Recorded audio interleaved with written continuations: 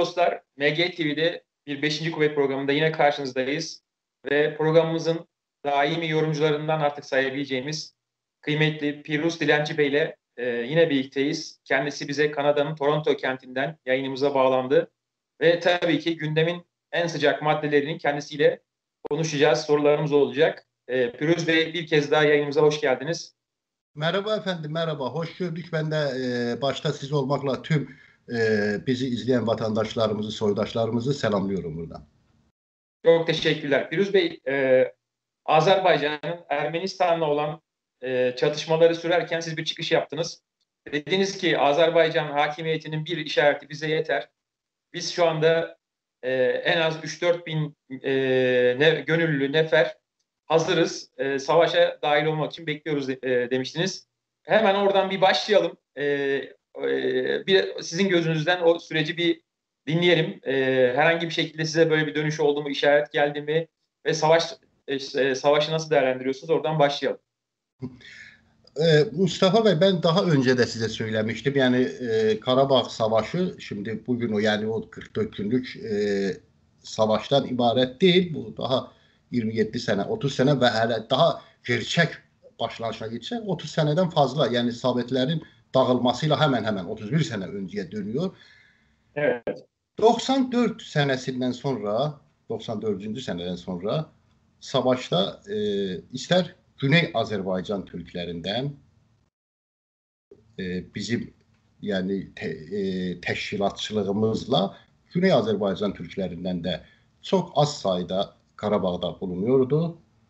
Ve tabii ki sizler de biliyorsunuz Türkiye'den de Türkiye'nin e, tabii ki resmi olmayarak gayri resmi ülke ocaklarından falandan bir e, Atilla Kaya'nın evet. bir sevdiğim bir aile dostumdur. Atilla Kaya'nın başkanlığıyla orada bulundular. 500'e yakın bir e, Türk ülkücüsü, Türkiye'li ülkücü kardeşlerimiz oldu.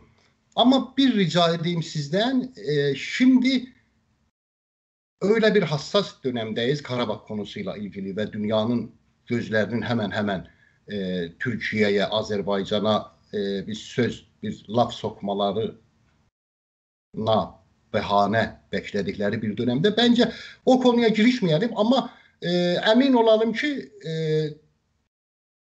Türk dünyası var ediyor da. Yani bunu diyelim size ama girişmeyelim biraz bu biraz olaylar bitsin. Şimdi benim bir söz söyleyebiliyorsunuz. Bizim bir Azerbaycan istihbarat e, bakan yardımcısı vardı. E, kendisi generaldı, paşaydı. Benim çok yakın kardeşimdi. Yani çok çok, çok yakın aile kardeş gibiydik.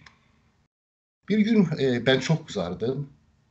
Bir defa Haydar Aliyev'e gazetelerde küfür ettim. Bakmayarak ki Haydar Aliyev'in himayesinde orada yaşıyorum. Ha. Maddi, manevi her türlü. Küfür ettim. Ya 5 dakika sonra beni aradı. Gazeteler manşete çıkardılar. Büyük gazetenin yukarı hissede en büyük o fontlarla sür manşetleriz bize. Manşetin de manşetine ha böyle falan aradı beni ya diyor sen ne konuşuyorsun? Sen ne diyorsun falan. Neyse görüştü benden sözü oraya getiriyorum. Ya dedi sen kardeşim biraz sahip çık bu dile. Dedim ya ben siyasetçi değilim ki. Ben inkılapçıyım. Özgürlük istiyorum ben. Siyas ha dedi.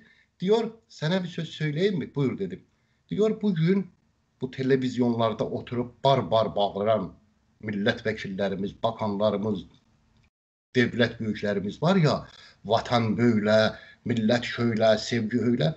Dedi biz istihbaratçı olarak onların perde arkasındaki konuşmalarını falanlarını da duyuyoruz. Dedi sana yemin ediyorum sen o konuşmaların o gizli arka konuşmaların birini duysan neyin ki bu insanla o böyüklərə, o söz söz konuşulana dövlətə nifrət edərsən sən. Böylə şərəfsiz, böylə bir insanlardır evet, bunlar. Hə.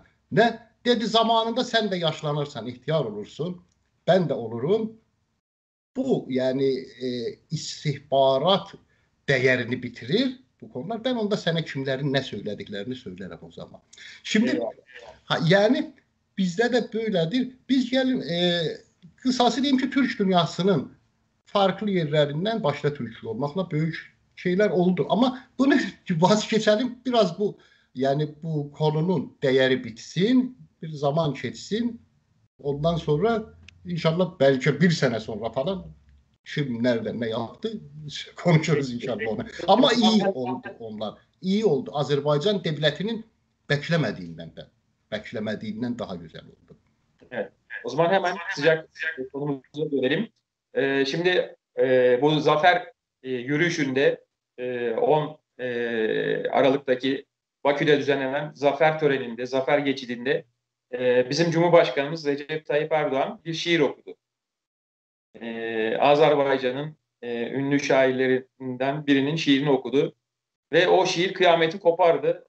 E, İran'da çok büyük reaksiyon e, oldu bu şiiri okumaya karşı. E, Dışişleri Bakanı Cevat Zarif'ten e, çok böyle e, sert bir e, tweetle şey geldi Türkiye'ye böyle bir cevap geldi. Bizim işte büyükelçimizi İran'daki büyükelçimizi çağırdılar Dışişleri Bakanı'na. Buna mukabil tabii Türk tarafının da açıklamaları olduğu aynı şekilde biz de sert karşılık verdik.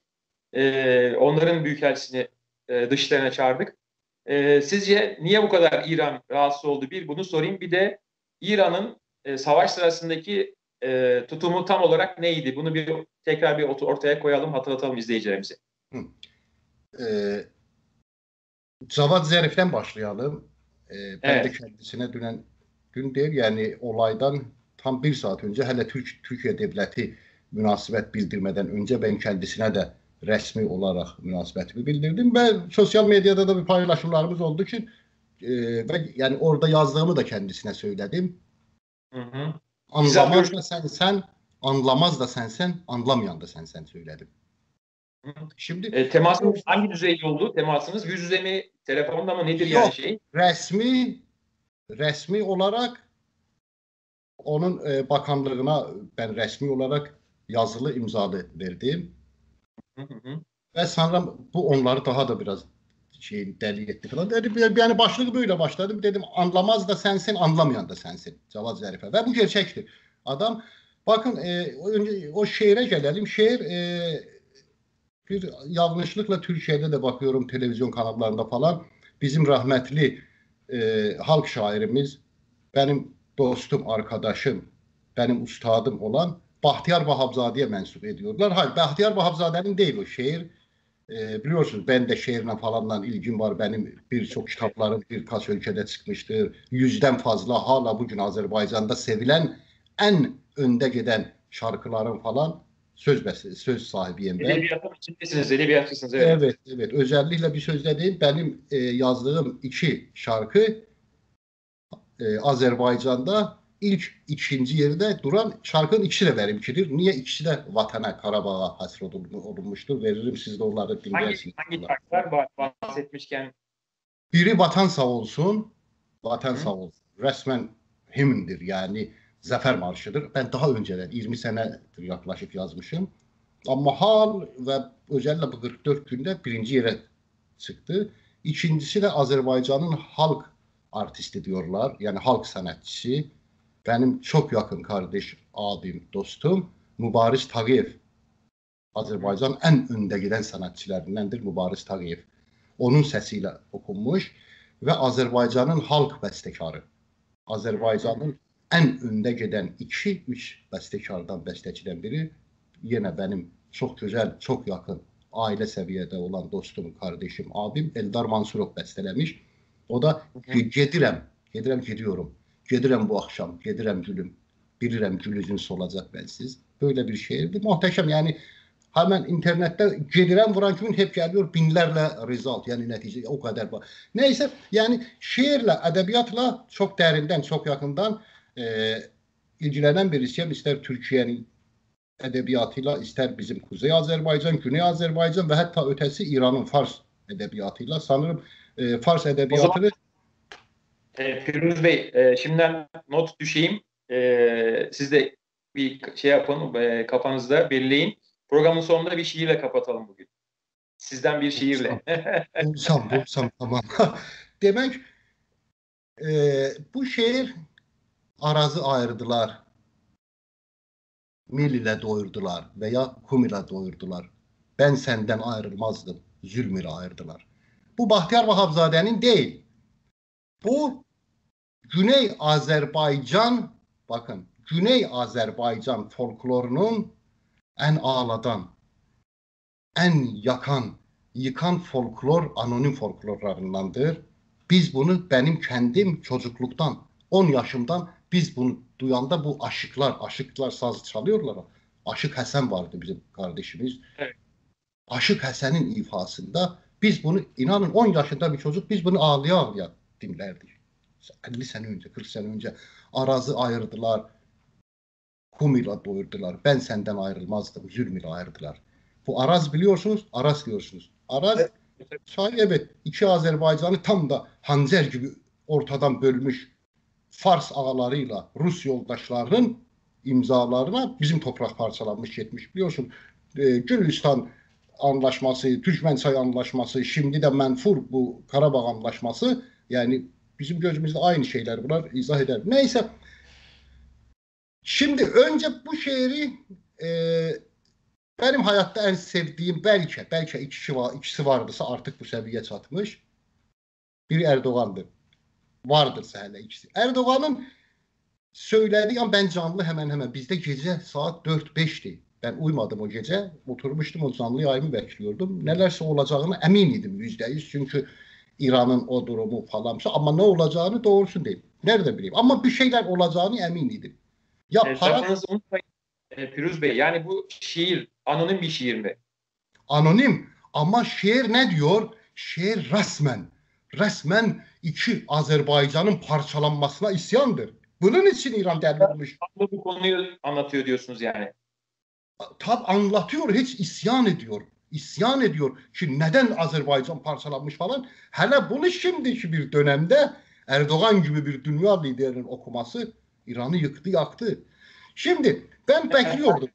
Ama ne bekliyordum bilmiyorum. Bir şeyler olacağından yüzde yüz eminiydim. Niye orada artık yüz seneden sonra şaka değil ya yüz seneden sonra aynı sokaklarda Enver Paşa'nın, Nuri Paşa'nın, Kafkas İslam ordusu, daha doğrusu diyelim Türk ordusunun Bakü sokaklarında dım dım dım vurarak zaferlerini kutladığı aynı sokaklarda, aynı binanın karşısında, aynı konuyla, aynı hikayeyle aynı ordu bugün Enver Paşa'nın, Nuri Paşa'nın başçılığında değil Erdoğan'ın başçılığında ve daha çağdaş, daha güçlü, daha duygusal halda ne mutlu Türk'üm diyene Bakü sokaklarını titrede titrede giriyorlar.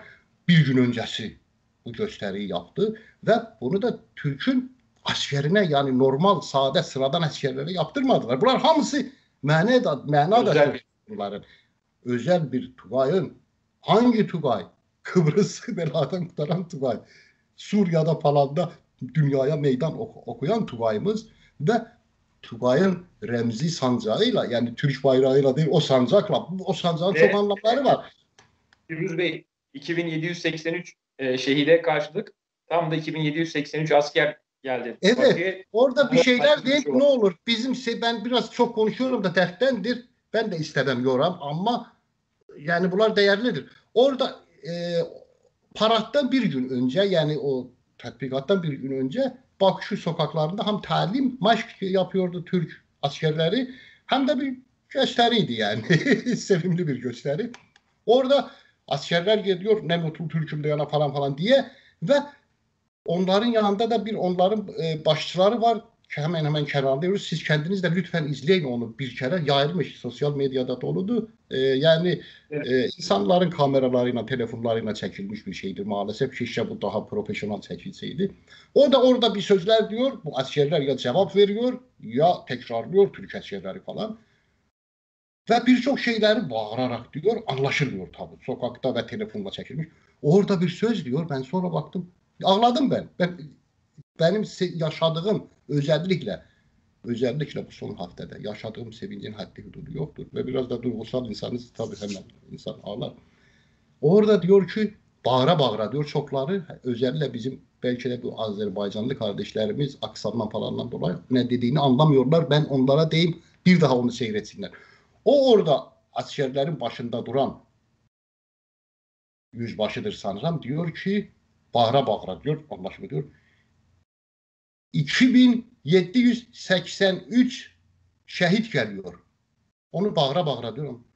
Ya bunun anlamı biliyor musunuz ne? Bir, tam da şehitlerin sayında Türkiye'den gelmek. Bunun çok çok anlamları var. Siyasi, manevi, remzi yani her şey. Ve adam demiyor 2783 asker geliyor. 2783 şehit geliyor. Evet. Bu şehit Türkiye'den yarın paratta olacak idi.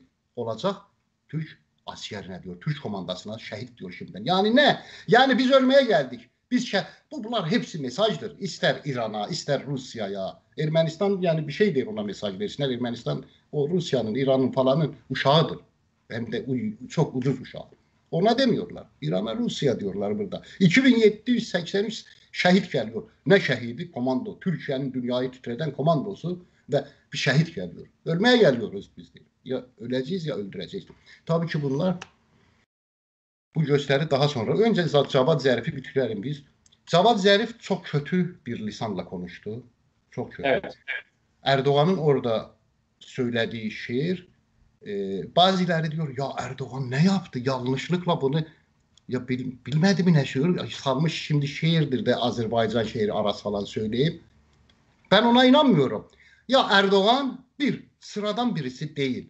Erdoğan bugün siz de biliyorsunuz. Dünyaya meydan okuyan, Amerika'dan, Avrupa'dan böyle hepsini bir parmakta fırladan büyük bir devlet lideridir. Cumhurbaşkanı değil bence. Cumhurbaşkanı dört sene gelir gider. Bu liderdir, önderdir. Büyük bir, dahi bir şahsiyettir. Erdoğan yani sıradan birisi değil orada gelip yanlışlıkla bir şehir hem de nerede iki Türk devletinin ordusunun hemen hemen tepesinde durup yani saçma bir şiir okunacak kadar bir insan değil. Büyük bir dahi bir şahsiyettir. Erdoğan söylediği sözlerinde İran'ın diplomasiden birisi de bir iğne ucu kadar anladığımız var. Sadece normal konuşmalarına ben dikkat ediyorum. Normal konuşmalarında ha.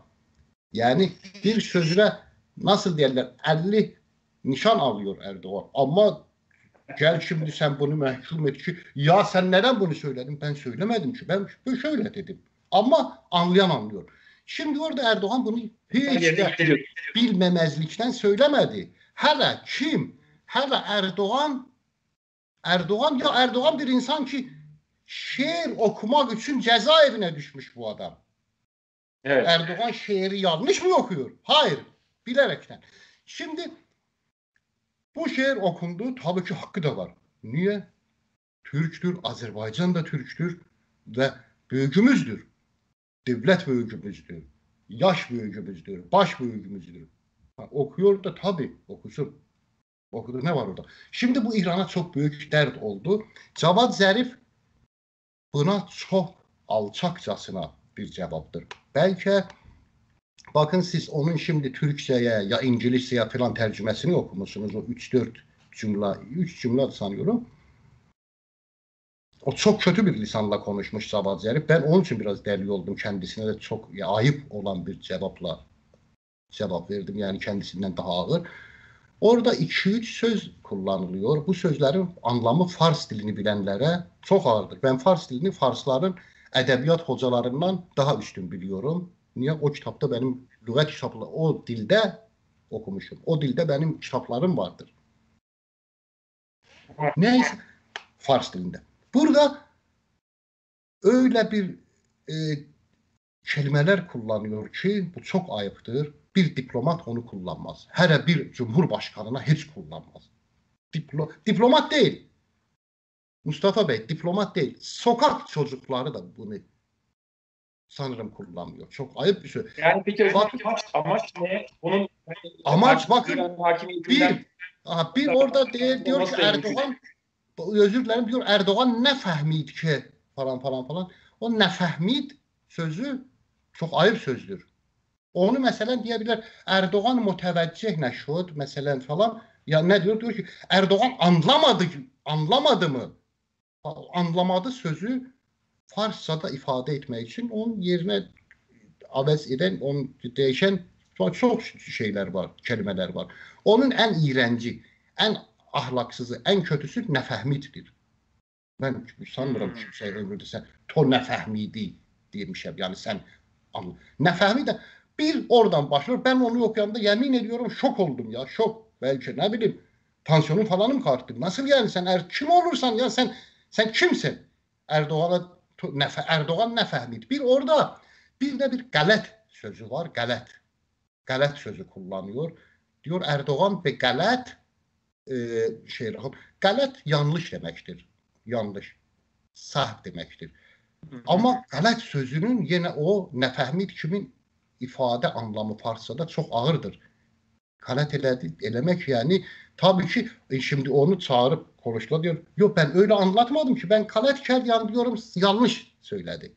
Yanlış anladı Erdoğan. Ama yok orada onun kullandığı kalet galet, Farsça galettir. O çok çok rezil bir ifadedir. Mesela nasıl anlatayım size? Mesela sokakta biri sana e, ne bileyim bir şey yapıyor zorakçılık yapıyor falan gidiyorsun. Sene değil ha. Yani bir sokak çocuğunun yanında diyorum. O ona küfür ediyor. O da diyor to galet geldi. Yani sen galet eledin. Şimdi bizim lisanda anlatsam çok kötü bir şey var. Anlatmıyorum. Bakın bunlar diplomatik, evet. diplomatik dilden değil sokak dilinden de daha uzaktır. Şimdi sen bir devletin Dışişler Bakanı o devletin konuşan dili demektir. Bir devletin Dışişler Bakanı gelip bu sözü hele kime diyor Erdoğan'a. Sen ne haddin? Yani bunlar haddini aşmışlar. Ve daha ötesi sonra diyor Azerbaycan'a sen konuşamazsan falan falan sen kim olursan ki Azerbaycan'a kimese izin verirsen konuşa konuşma. Biz cevabını verdik ve notamızı da verdik. Hem de çok ağır bir diller. Ve gerisin 2-3 aya çok iyi yani o da dersin alır. O da dersini alacak Güney, e, İran'da o Cavad Zərif deyilən ahlaksız. Çünkü biz e, Güney Azərbaycan türkləri olarak e, Türk böyüklərimizə İran rəsmilərinin tərbiyəsizliyinə, hadsizliyinə heç zaman izin verməmişikdir və verməyəcəyik də. Bu, bu da böyle kalmayacak. Kendisine evet. de verdiğim mektupta yazdım böyle kalmayacak. Ya Süleyman'ınki kalmadığı gibi. Süleyman'ı ölmeden önce benim bu Facebook falan sayfamda baksanız ölmeden çok yok. 5-6 ay önce gelip bir iş konuşmuştu ki diyor e, biliyorsunuz Tebriz'de Tebriz'de Güney Azerbaycan'da bizim çocuklar İran bayrağını indirip onun yerine Azerbaycan bayrağını takmıştılar bir gece. Bu sosyal medyada patlamış evet, bir devletin evet. kulağına. Süleyman'ı yarın durdu dedi ki söz çok büyüdü. Süleyman'ı dedi ki ey kaş ben mimordam o anrannemiydim diyor. Kaş ben ölürdüm de o sahneyi görmezdim. Hemen hemen dedim şey efendim biraz şey yapma paylaştım çok da İran'da tepki kazandı. Dedim ki sen hele biraz telesme hızlı gitme. Çok yakında sen inşallah tamamdır. O ölüm arzuluyorsan çok yakında geberersen de cehenneme gidersen de. Ve aynı sözü evet, buna dedim. Dedim dedim ki Sayın Cavad Zerifi Bey get de bir bu, bu sayfanı get aşağı bu Facebook'ta falan da aşağılara bak. 3-4 ay önce Dedik biz şeye Süleyman'a sonra da köpek gibi ce geberip gitti cehenneme. Dedim sen de haddini aştın sen de payını alacaksın. Ve alır da inşallah alacak da. Yani emin olun Əmin olun, Güney Azərbaycan türkləri olaraq bunun belə bir ahlaqsızcasına konuşmasının yerdə qalmasına izin verməyəcəyiz. Bu belə. Şimdi Türkiyə dövlət olaraq təbii ki, e, mən səmimi deyim, e, mən həm Azərbaycan dövlətindən bəkləmiyordum. Azərbaycan dövləti biraz şeydir. E, çünki dövlətin başında olan şəxsdən dolayı biraz bu şeylərdən qorxar, qaçar falan. Evet, Ondan evet. çox bəkləmirdik, amma eləmə etməsi gərəkiyordu. Türkiyədən daha ağırını bəkliyorduq ki, ağır bir misilləmə cavab falan ki, o olmadı və o da əminim ki, Türkiyə artıq eski Türkiyə deyil. Türkiyə diplomasiyası dünya yöneticilərinin içində söz sahibidir artıq.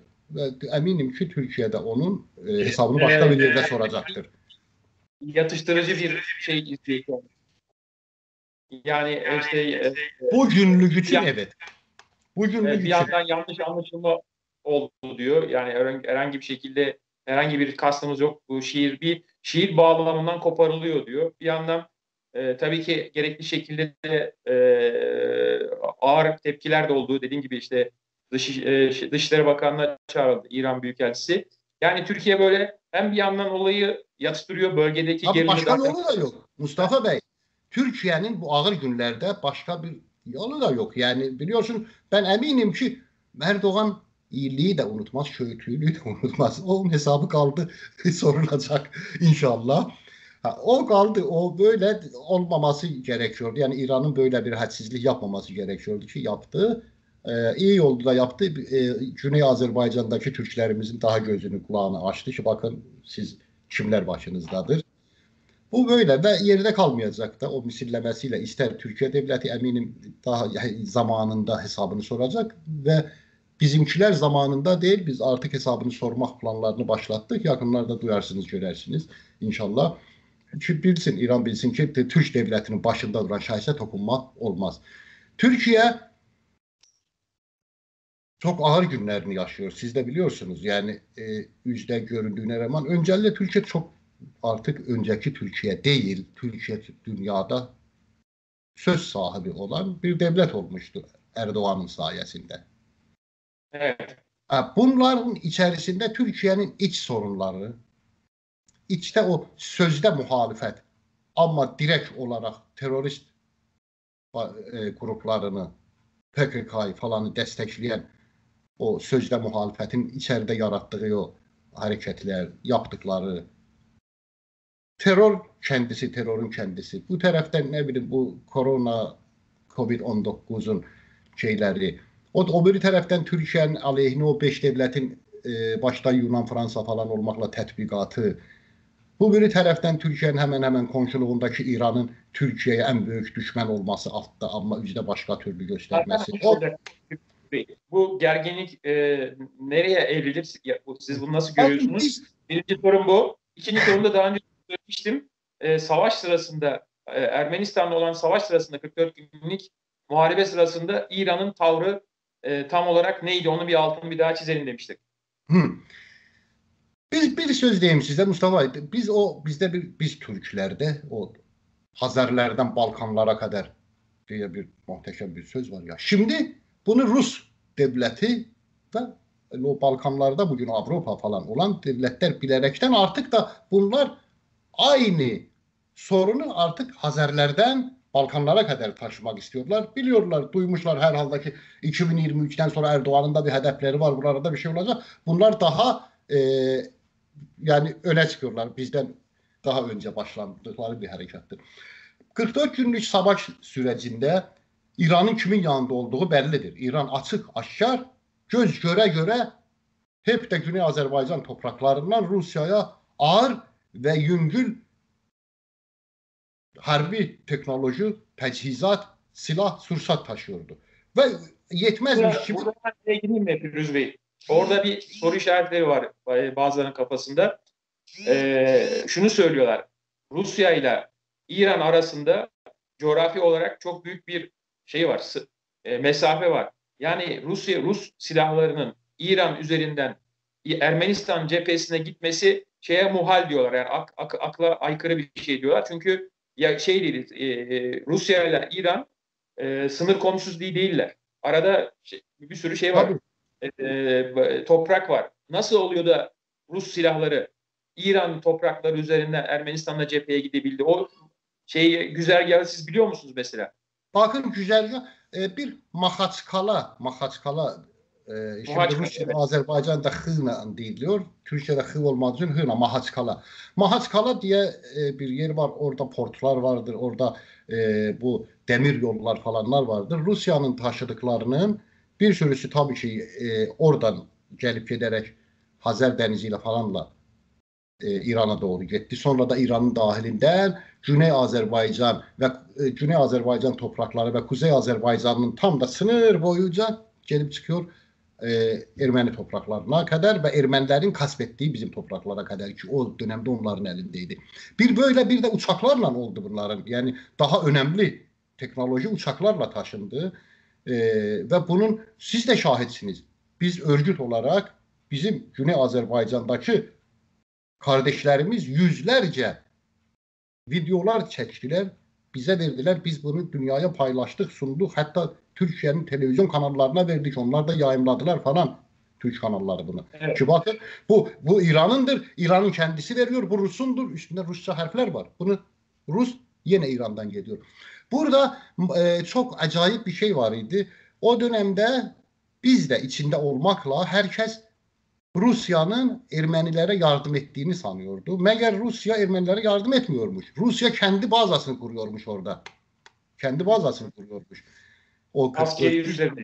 Tabii tabii. O 44 gün süresinde, süreç zamanında. Ve e, bu, bunlar böyle gitti oraya. İran'ın tuttuğu mevki bellidir ve hatta bu saziş ben ona saziş demiyorum. Ben ona bilmiyorum. Ben ona bir Türkmençay anlaşması kadar Gülistan anlaşması kadar menfur, nifret edici bir anlaşma diyorum bu Karabağ sazişi adlanan şeyi anlaşmaya. Bu çok kötü oldu. Keşke böyle olmasaydı. Şimdi yüzde başkacı, insanlarımız seviniyor, bayram yapıyor falan. Bu konu böyle değil. Ben sana bir söz diyeyim Mustafa Bey. Siz benden gençsiniz. Belki evet. zaman gelecek. Lütfen rica ediyorum siz de bizi şimdi dinleyenler de bunu unutmasınlar. Zaman gelir belki ben ölürüm ama siz yaşayacaksınız. Unutmayın ki Rus ordusu Azerbaycan'dan çıkmayacak. Bitti olay. Rus ordusu Azerbaycan'a sokulmamalıydı. Soktular çıkmayacak. Zira bu tekrarlanmış tarihimizde bizim. İster Mehmet Emin Resulzade döneminde, ister öncesi, ister sonrası çıkmayacak Azerbaycan'dan. Ve neyin bahasına çıktığını da gördük. Bu e, muharebe, savaş yani özür dilerim. Bu 44 günlük savaş yüzde görünüyor. Şimdi ya tabii bizim manfaatimiz oldu, bize iyi oldu. Tabii ki bize iyi olan, manfaatimiz olan da çok şeyleri var. Tam işgalde olan bir toprağımızın büyük çoğunluğunu aldı. Hepsini almadı. 7, 7 ayağından 5'i alındı değil mi? 7 ayağından 5'i alınmış oldu. %90'a evet. geliyor. Evet. Büyük çoğunluğunu aldık. Ve biz Dört gün. Dört gün. Ben bunu e, şeye dayanarak diyorum. Azerbaycan'da orduda hizmet veren paşalarımızın paşalarımızla bazılarıyla konuşmalarına dayanarak anlatıyorum. Dört gün içerisinde Karabağ değil Yerevan'a kadar gidecek kadar diyor uğur kazanmıştık. Dört günümüz kaldı. Başkenti zaten düşmek üzereydi. Evet. Yani Ermenistan yokluğa gidiyordu. Ve bir an insanlar uyuyor. Gece Türkiye'de, Azerbaycan'da gece saat 3'tür. İnsanların uyuduğu en şirin, en güzel saatte ve dünyada gözükmeyen bir şey, hele Azerbaycan'da hiç gözükmeyen bir şey. Azerbaycan Cumhurbaşkanı durup kameraları açıyor. Ya tüm televizyonları beni bağlayın. Tamam. Ben şey Paşinyan teslim oldu falan. Ben onu da canlı izliyordum. Paşinyan teslim oldu. Biz kazandık. Karabağ'ı aldık falan. Yani tam 10 saat öncesi, 10 saat önce Azerbaycan Cumhurbaşkanı'nın bir konuşması var idi. Ona zıt. Tam zıt.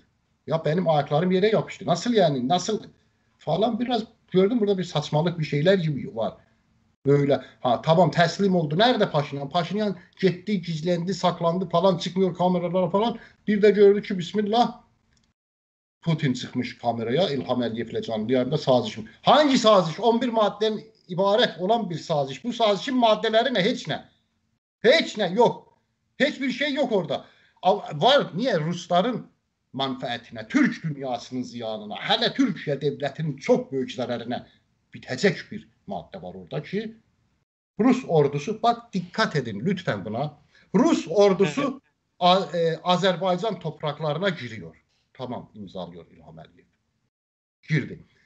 Ne kadar ona bir süre koyulur, ona bir şartlar mahya ordunun bir toprağa girmesine Türkiye, Türksünüz, Türkiyelisiniz. Türkiye'de kendi topraklarını korumak için ordu gönderiyor o savaş yerlerine, doğu taraflarına falana. Meclisten ona gerekçe çıkarıyorlar falan ediyorlar. Sen kendi başına kimsen hedef düşman ordusunu ülkeye girmesine izin misin? Gece hem de saat 3'te millet uyumuşuz.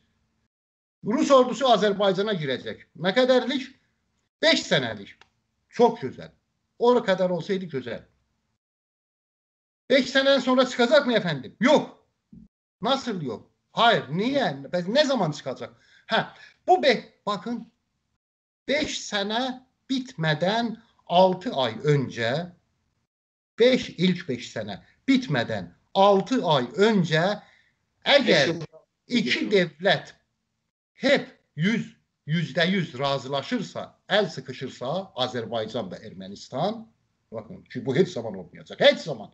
El sıkışırsa 5 sene bitti bitince biz çıkacağız. Yani Rus ordusu.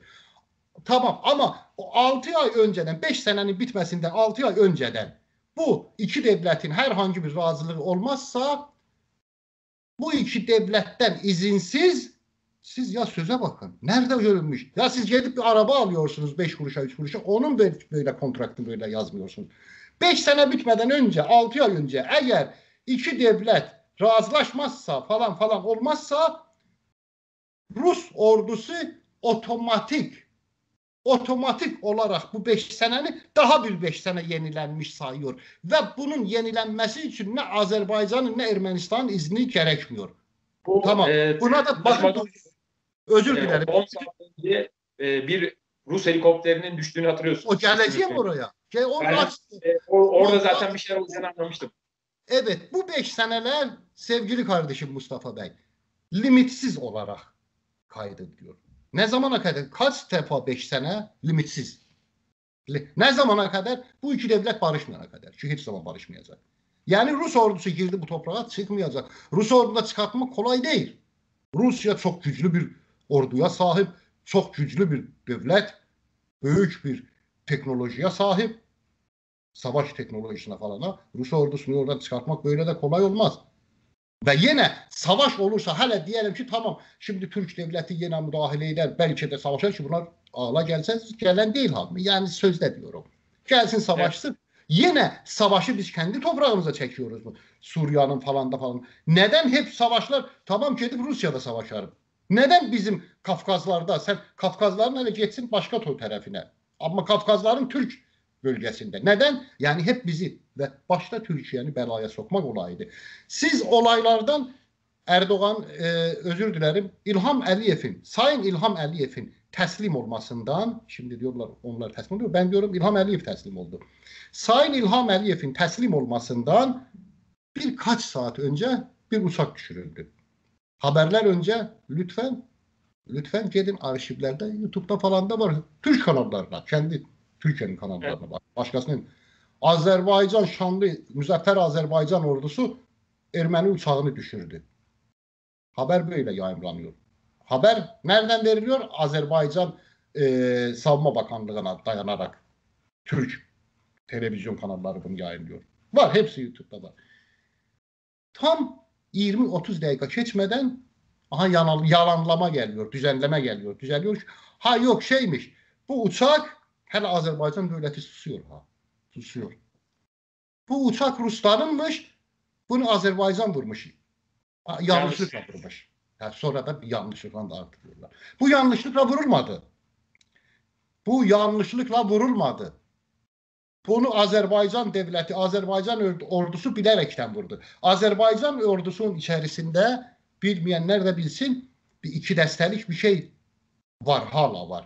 İki dəstəlik. Biliyorsunuz, Türkiyə dövlət olaraq 1920-ci sənədən sonra Azərbaycana qarşı bir strateji uygulamağa başladı. 1920-lərdən sonra.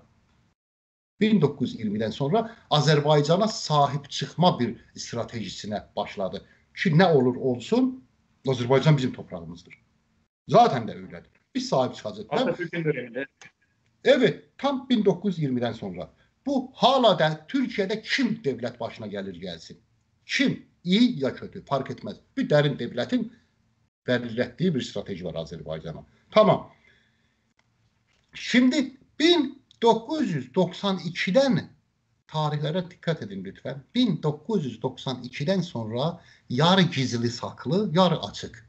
Türkiye devleti, Türkiye ordusu Azerbaycan'da milli bir ordunun yaradılmasına karar verdi.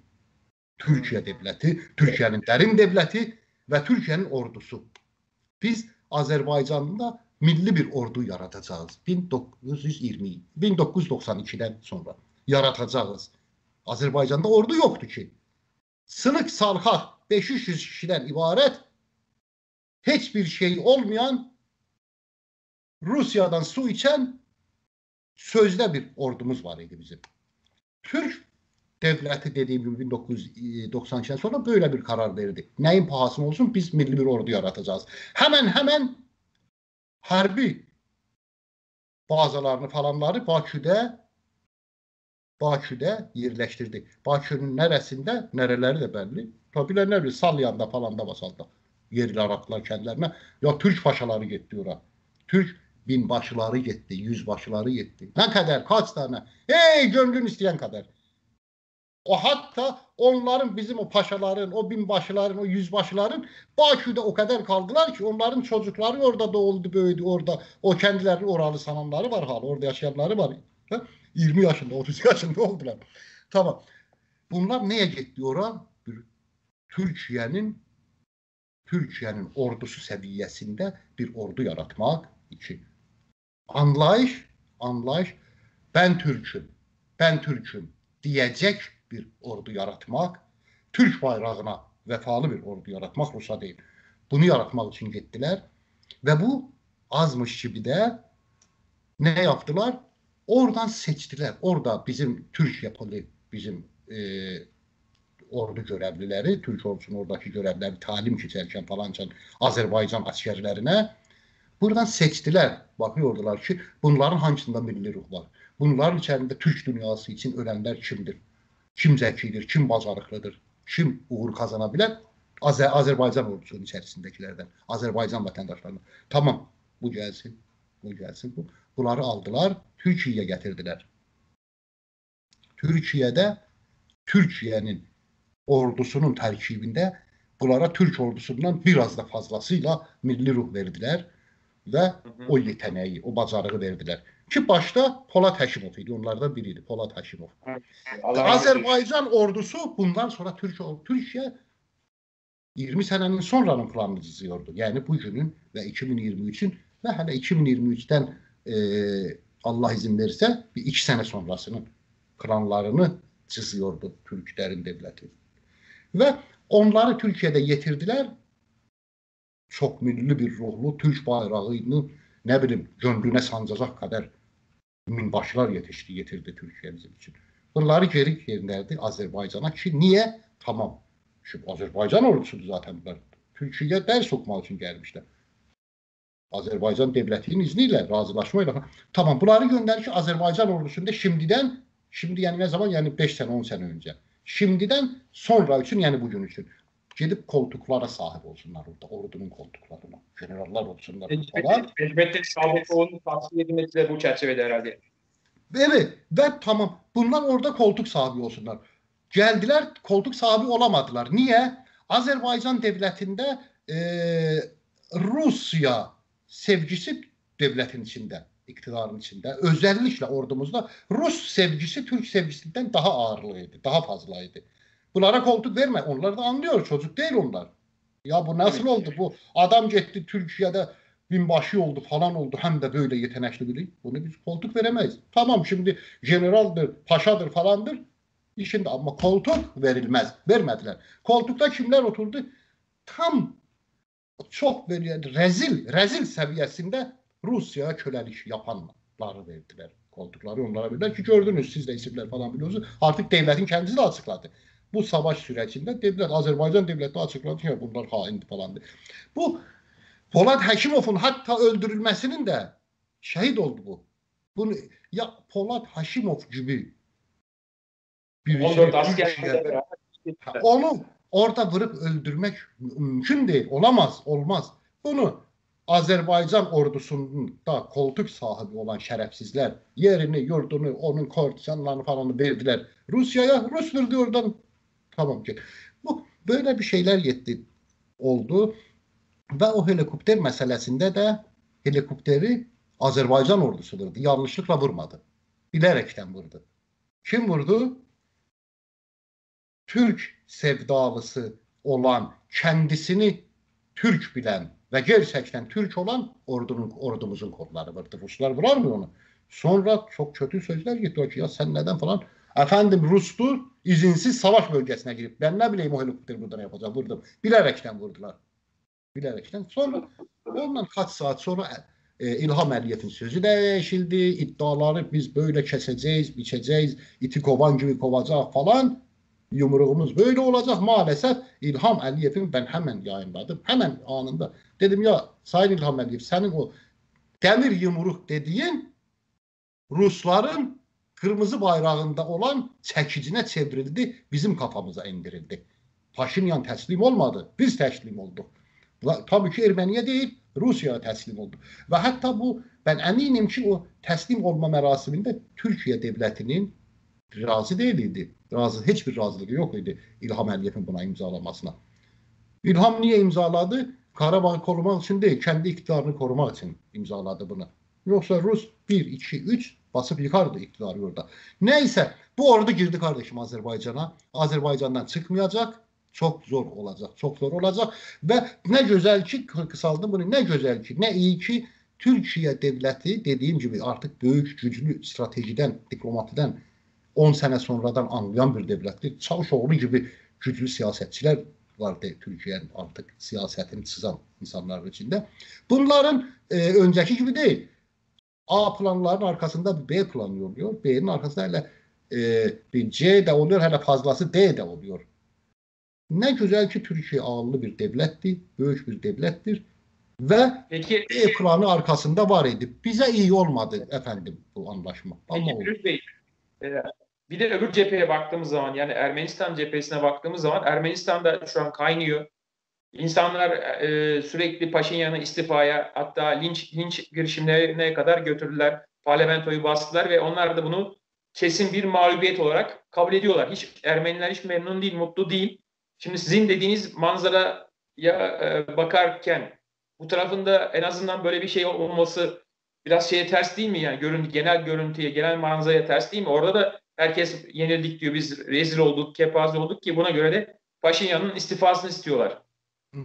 Bu konular çok derindir. Bir, yüzde görünen başkadır, arkada olan başka.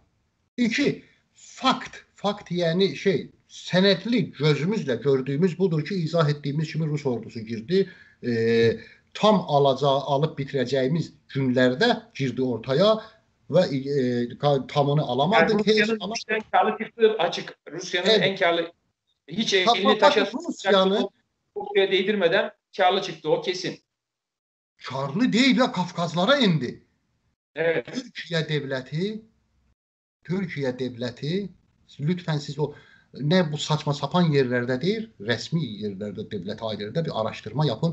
Türkiyə dövləti 1990-lardan sonra Sovetlər davranından sonra daha doğrusu 1992-ci sənədən sonra Türk dövləti diyor ki, şeydir. Rus evet. Qafqazlara enəcək. Türk dövləti bunu biliyor. Diyor, diyor Rus Rus Qafqazlara enəcək. Biz şimdidən onların qarşısını almağa hazırlıqlarımızı yapmalıyıq. Və Azərbaycanda ordu yetirməsi, milli ordu falan bu səbəbdən idi.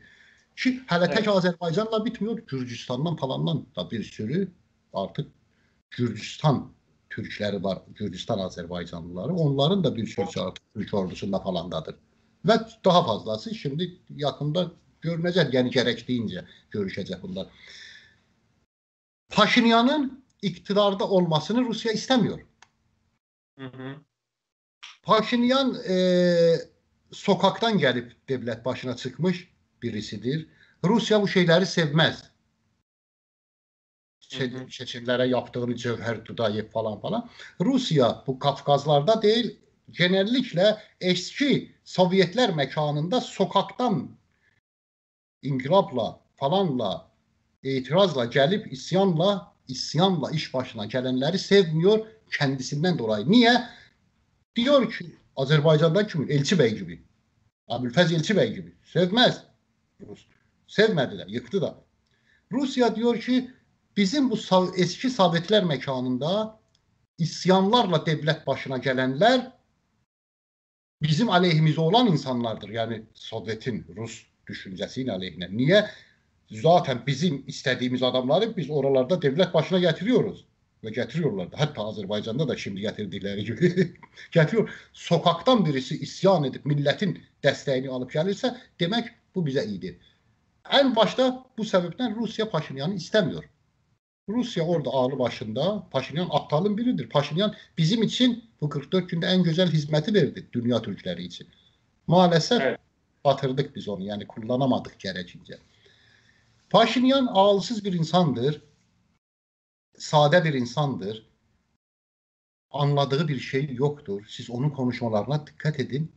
Ya adamın konuştuğundan bile belli.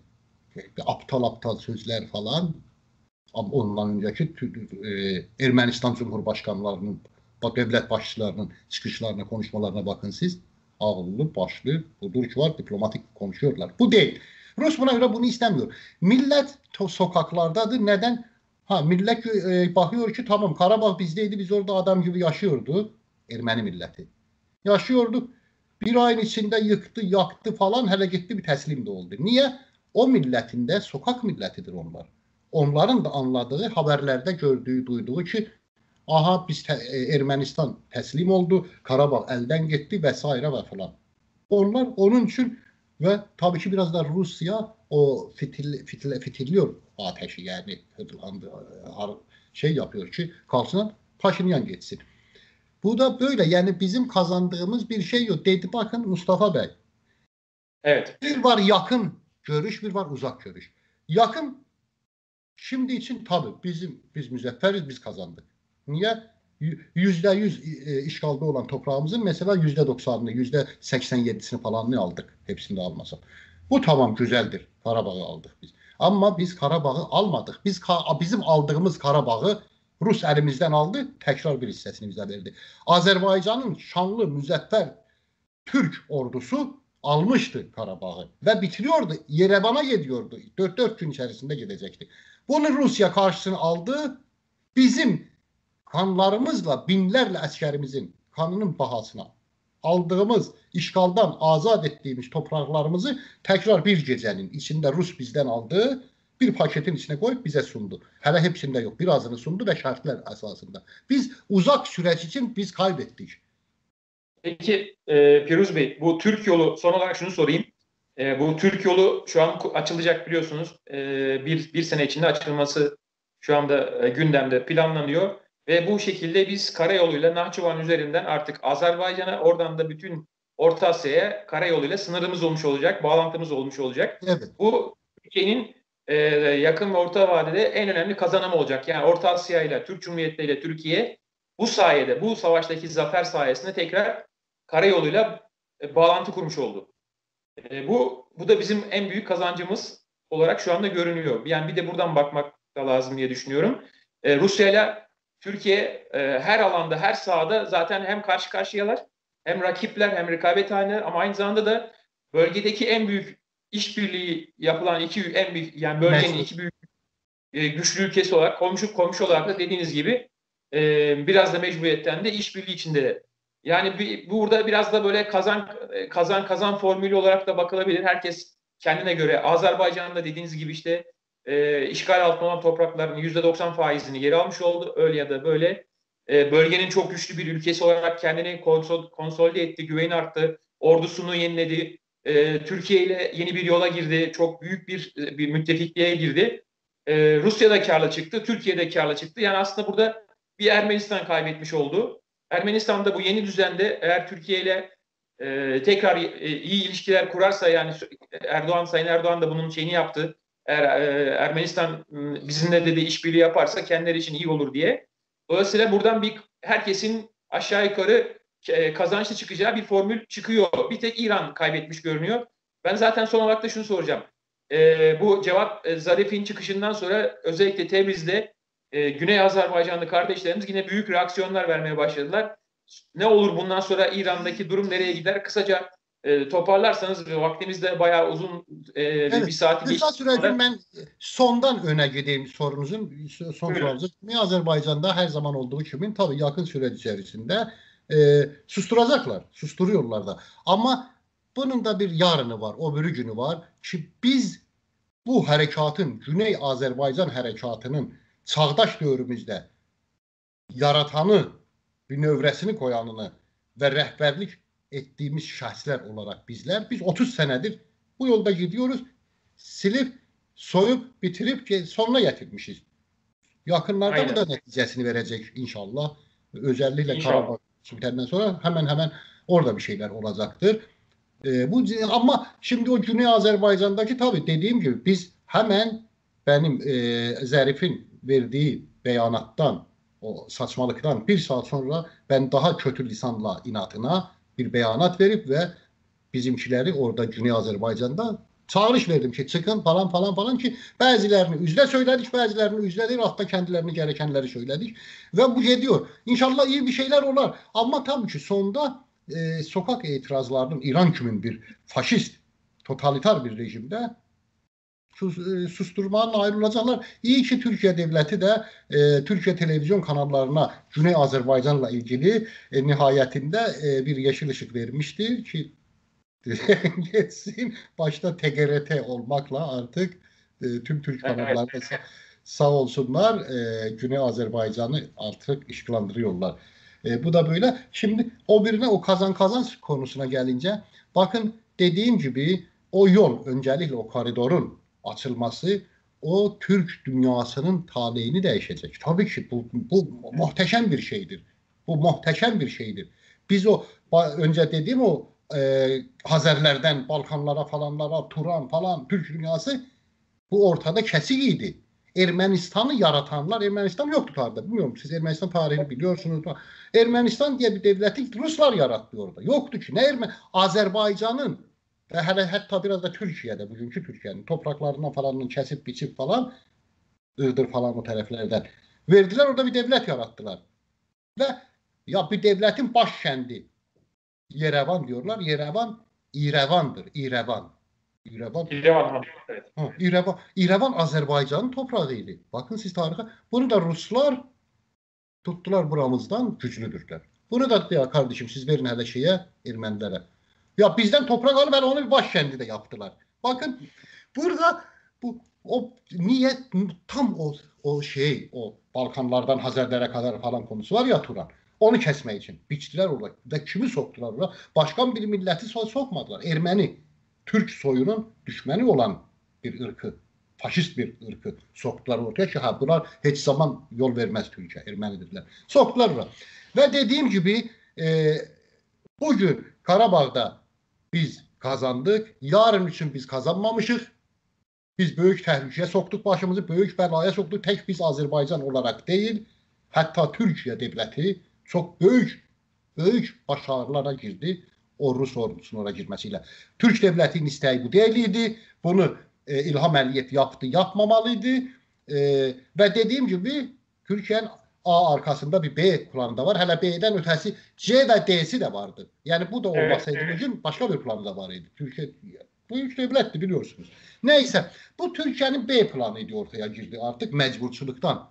Türkiye başta Hulusi Akar olmakla ki e, her gün birkaç gün hafta bir haftadan çok konuşmalar yaptılar falan ki bir türlü Rusya'ya İlham Əliyev'in geceyle kimseden habersiz götürüp o saçma sapan 11 madde imzalanmasından Türk devleti razı olmadığı için orada Türkiye ordusuna hiçbir yeri verilmemiştir ki.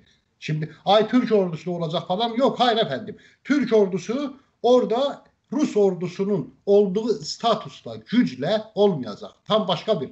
Bunlar onu da konuşsak bir saatte ona gerekiyor. İsteseniz ne zaman konuşuruz. Türk ordusu orada başka bir statüsü oluyor. Üstünde Rus ordusu oluyor. Rus ordusu. Ama tamam şimdi mecbur İlham Əliyev'in batırdığı bir çocuk evde bir şey vurup yakar dağıtar. Babası, annesi gelip yuyur, sinir temizler. Şimdi e, Sayın Erdoğan Böyük Türk devleti, yüce Türk devleti Erdoğan e, İlham Əliyev'in o dağıttıklarını siliyor o B planıyla temizlemeye çalışıyor ve Türk ordusu maalesef istediği gibi olmadı orada Erdoğan'ın e, İlham Əliyev'in geceyle imzaladığı o saçma şeyden dolayı e, o yolun açılması çok büyük şeydir ama bunu da bilin ki e, o yolda e, Rusya ordusu da orada nezaret ne- nezaret edecek o yola. Yani tam da bizim istediğimiz gibi değil ki tamam biz Turan'ın yolunu açtık hele e, Türk dünyasına, Orta Asya, Özbek, Türkmen, Kırgız, Kazak, Azerbaycan'dan yok. Bu o kadar da değil ama tabii hiç nedense iyidir ve eminim bu B plan arkasında yani devlettir. Bakıyor ki tamam biz bu açtık da bu yolu ama Rus ordusu orada bizden daha güçlü bir mevkide olacak saz imzalama imzaladıklarına göre.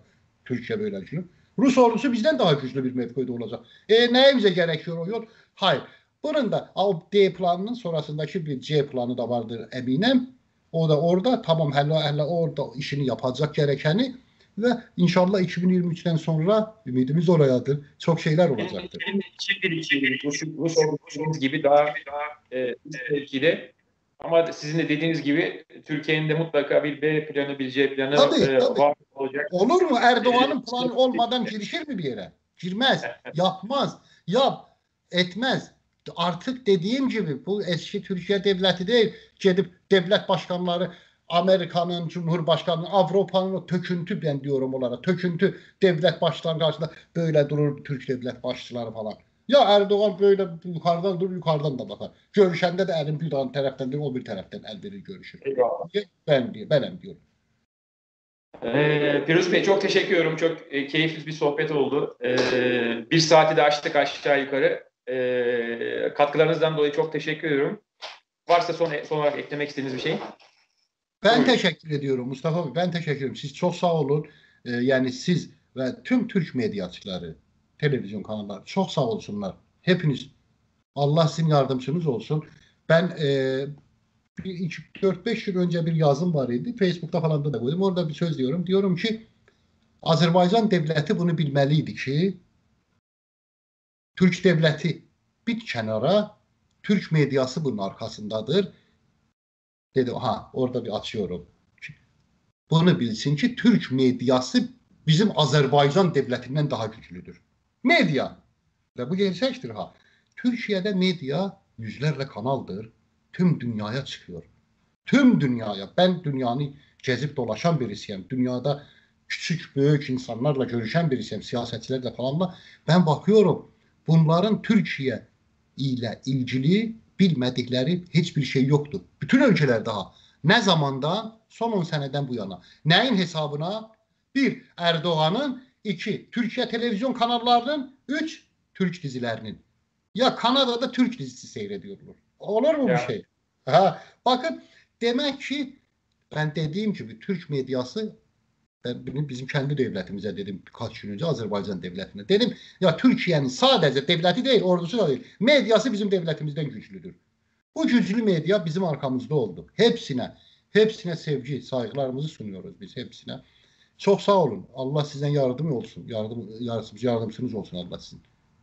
Amin. Çok teşekkürler. Burada tabii bağımsız medyanın da ne kadar e, kritik bir görev üstlendiği, e, hakikatlerin halka, geniş kesimlere, kamuoyuna yansıtılmasına ne kadar kritik bir rol olduğu, e, oynadığı bir kez daha anlaşılıyor. Biz de bu çerçevede MGTV olarak her zaman bağımsız gazetecilik çizgisi izleyerek e, hakikat neyse onu yansıtmaya çalışıyoruz. Her kesimin, her kesimin görüşlerine yer vermeye çalışıyoruz.